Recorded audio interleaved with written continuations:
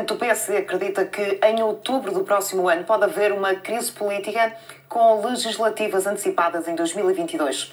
Em entrevista à Antena 1, Rui Rio diz que o Partido Socialista é o grande derrotado das presidenciais e que será mau para o país se André Ventura tiver uma votação expressiva. O líder social-democrata responsabiliza politicamente António Costa pelo aumento de mortes em Portugal.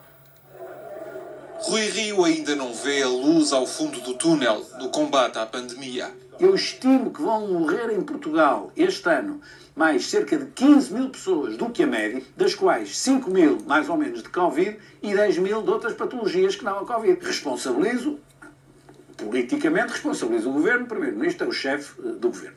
Politicamente responsabiliza o governo. Depois, na gestão em concreto, é obviamente o, o Ministério da Saúde, que não teve a, a capacidade de planeamento o ano novo traz uma crise económica e pode trazer uma crise política.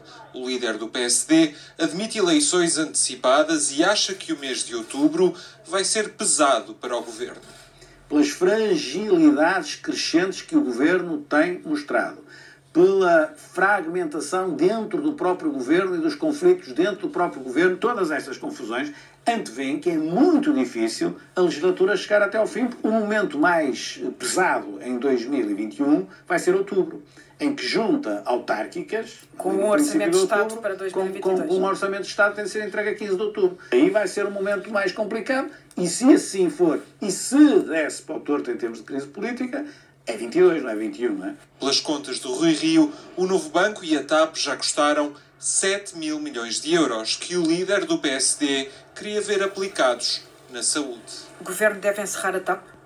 Depende, mas não excluo nada, nada, nada essa hipótese. Mas mesmo nada essa hipótese. Agora o, o, o CEO ganha 30 e tal mil euros por mês e, e o governo está todo contente porque o anterior ganhava 50 e tal mil. É esta TAP que fomos tendo que estamos a pagar com, no, com o nosso dinheiro. A um mês das presidenciais, Rui Rio já sabe quem perdeu é como no, futebol, aquelas equipas que a cinco jornadas do fim já desceram divisão. Já têm tão poucos pontos que nem caem em jogos todos, já desceu. Portanto, aqui é a mesma coisa. O grande derrotado das presenciais, independentemente do resultado, é o Partido Socialista. Já perdeu. O líder do PSD apoia Marcelo Rebelo de Sousa e não quer ver André Ventura a subir. Acho que será mau para o país se uh, o líder do Chega, o Dr. André Ventura, tiver uma votação grande e expressiva. Aponta metas para as autárquicas e acredita que é possível o PSD recuperar as câmaras de Lisboa e do Porto no próximo ano.